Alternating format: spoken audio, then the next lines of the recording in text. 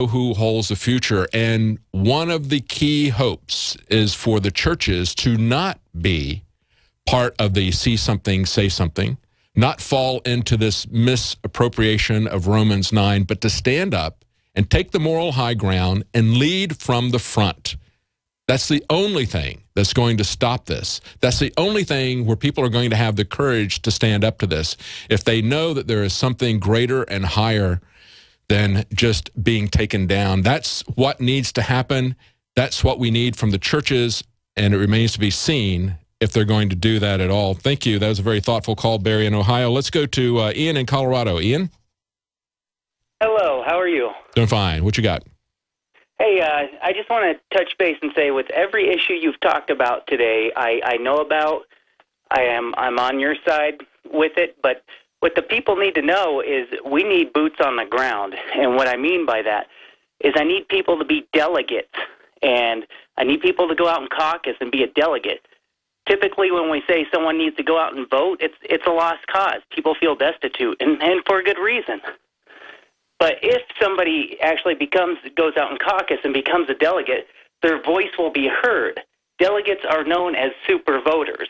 Yes. You decide who gets put on the ballot, and you decide which agendas get pushed forward. I think that's great. There's the, the states that have caucuses. I was very happy with the grassroots movement and the caucuses last time. Saw that coalescing around Ron Paul, but there was a lot of sh shenanigans going on in the caucuses as well. And it appears that the GOP has, behind the scenes, been making adjustments to that. What's your take on that? Do you think they have found a way to essentially shut down caucuses in the states that do have them? They are working on it, believe mm -hmm. it mm-hmm. or not. Uh, and that's well, why we need people to get involved now, right? We need people to get involved to stop that at this point. I want people to know when I'm talking about voting, I'm talking about being a super voter. You're going to be right. part of the uh, SEAL Team 6 or Delta Force uh, voting machine. You're not going to be a regular voter. You're going to be a super voter. I need you. I need your help. Help me help you for God's sake. Just help me. Very good point. That's that's really important for people who are in caucus states. Now is a time to get involved. The same Republican hierarchy leadership that's going out and courting Sheldon Adelson is also trying to shut down the caucus system.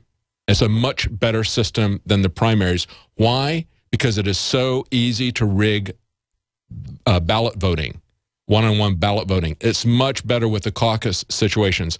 There are so many places where they can come in and corrupt the ballot system. They can do it with illegal voters. They can do it anytime you lose custody of the, the ballots. They can do it. They can take over the voting machines very easily. They can put viruses in these electronic voting machines. We need to roll this back. We need to make it simpler. We need to have paper ballots. We need to have a constant uh, stream of monitoring and of control of these ballots. As Stalin said, it doesn't matter who casts the votes, it's who counts the votes.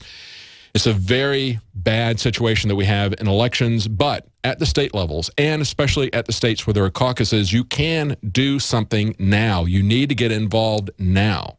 Stop them from shutting this down and get active in the next time. Thank you. It's a very good call. Let's go to uh, Dean in Florida. You had uh, something you wanted to say about the police?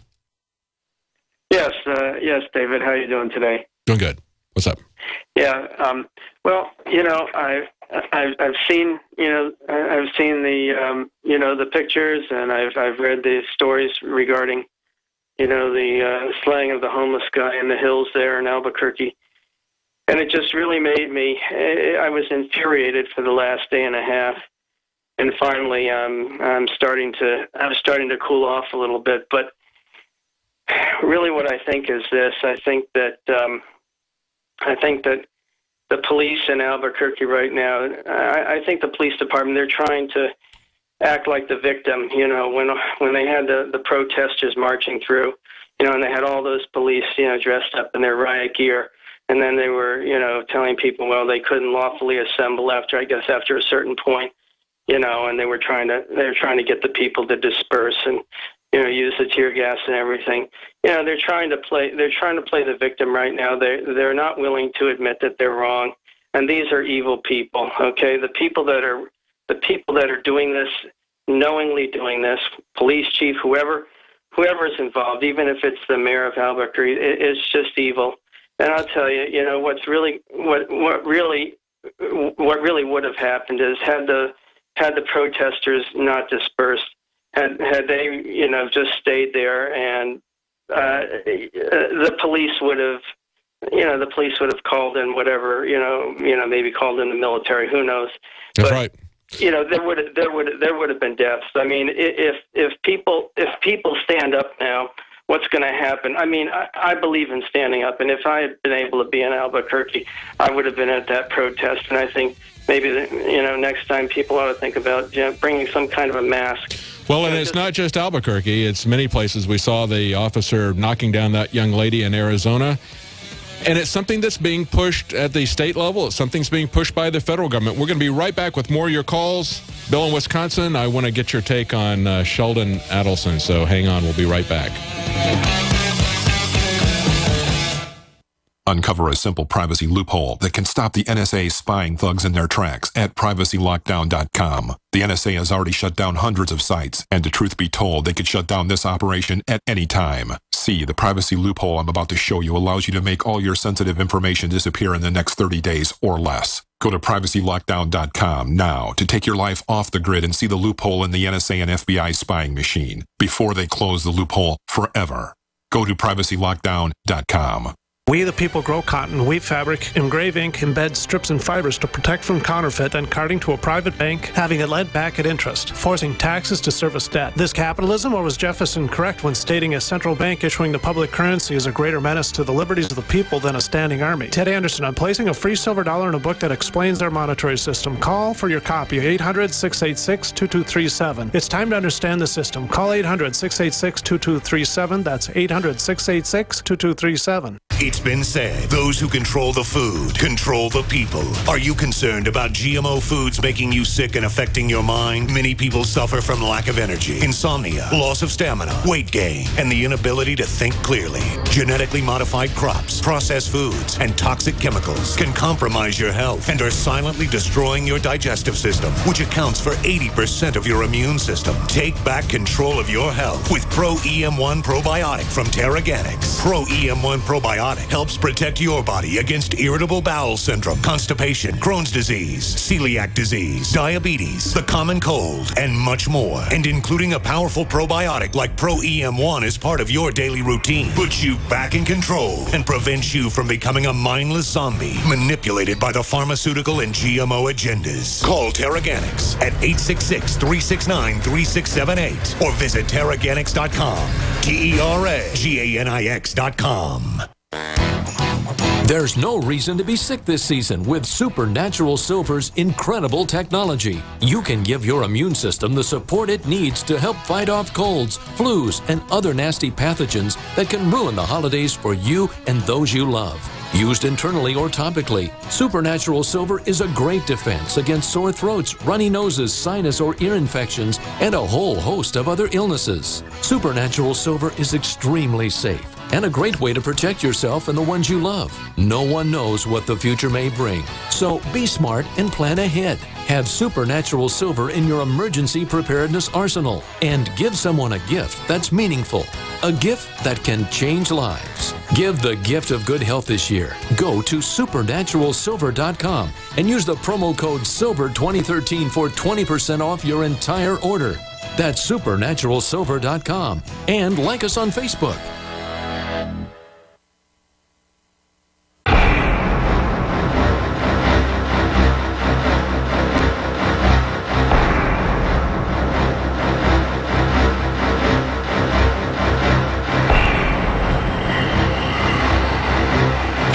Welcome back to the Alex Jones Show. I'm David Knight, and we're taking callers. I was talking earlier about uh, Sheldon Adelson. He's the casino billionaire in Las Vegas. You may remember in 2012, he had his own caucus, as many news outlets reported it. And of course, that was going to be for Jews only, but many people crashed that caucus. There was a lot of corruption around Vegas in 2012, and the presidential caucuses there.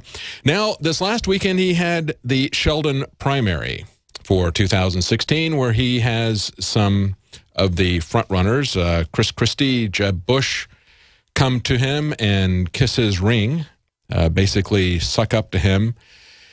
And it remains to be seen what's going to happen with that. Uh, of course, now Lindsey Graham is also carrying water for him, introduced a bill to stop online gambling. See, even though Sheldon Adelson gives $93 million in the last presidential election, he gets a very good return on his investment.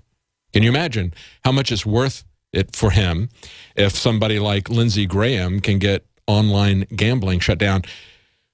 Mike Rogers is leaving the House. We need to get rid of Lindsey Graham. Guys in South Carolina, he's coming up for election this next time. We've got a good Tea Party candidate there. Let's get Lindsey Graham out.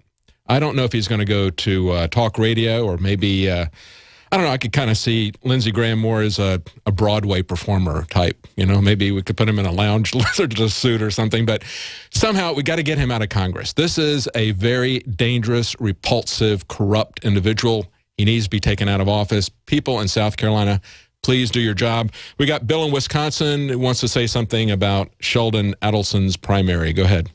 Yeah, David, uh, thank you very much for bringing up uh, Sheldon Adelstein and all of his uh, shenanigans on behalf of the Zionist movement. We're never going to have peace in the world until we you know, get to the root of some of these problems. And the big money that somebody like Adelstein wields and uh, promotes certain candidates. Uh, I think not only do we need to get rid of uh, Lindsey Graham, okay, and more, more than likely he might uh, get into ballet when he Yeah. leaves office. Exactly. I'll, I'll be glad to see Mike Rogers go. Yes. I am sick and tired of turning on uh, talk shows on Sunday and seeing Mike Rogers, as you accurately pointed out, promoting wars and the neocon agenda and the surveillance state. Oh, yeah. Yeah. But it's very uh, illuminating, in the true sense of the word, the four candidates that went to uh, Las Vegas there to court the favor of Sheldon Adelstein. Yes. Chris Christie, Jeb Bush, okay, uh, John Kasich, and our own Scott Walker here from Wisconsin. hmm Now, he's done a few things that are decent, but for the most part, the real gut issues like Common Core and, uh, you know, uh, reducing the influence of the neocon agenda, he hasn't done anything. That's right. So- he's going to be he's going to be a new world order guy. And the thing that bothers me about this Sheldon primary is how out front and open they are about it. And that's what we see with Obama. We see the corruption there. We see the uh, auditing of the Tea Party people with the IRS and the fact that they just keep doing it. They get away with it. They're not even embarrassed about it anymore. I mean, at least Nixon tried to cover it up. At least they impeached Nixon. At least they forced him out of office. Today, they just do whatever they want to. And that's what we're seeing here in Las Vegas. Well, that's it for today's show. Please join us again tomorrow. Alex Jones will be back at 11 Central, noon Eastern. Join us then.